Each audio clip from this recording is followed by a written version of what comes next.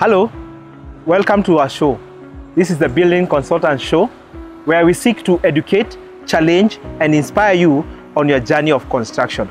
My name is Sam Wanyoike, and I'll be talking about the precast wall panels as an alternative technology to the ordinary or the conventional masonry walling system.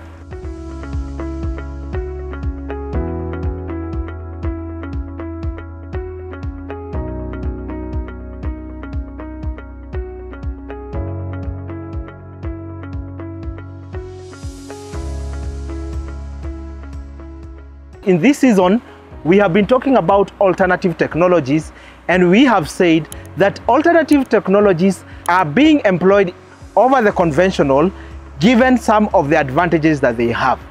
The precast wall panels are made of lightweight concrete and they are made into small sections that have some holes inside them to ensure that the panels remain to be light during transportation, installation, and even the overall weight of the structure.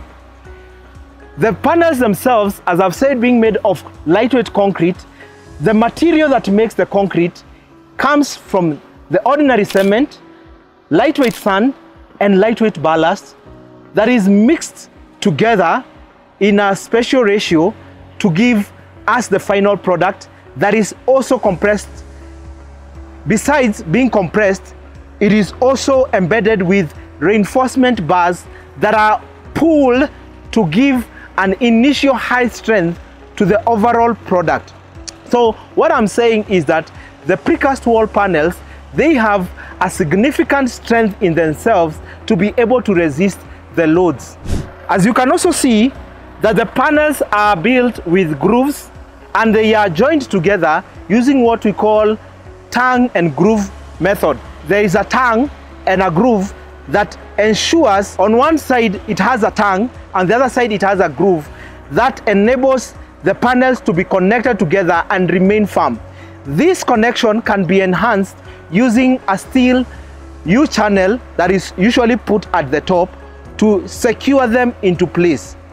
One thing that I would also want to say about this panel is the fact that the method of installation does not require a high skilled labor or a specialized labor for that case. The installation can be done very fast that also ensures that the overall time that is taken in doing the construction, the time has been saved.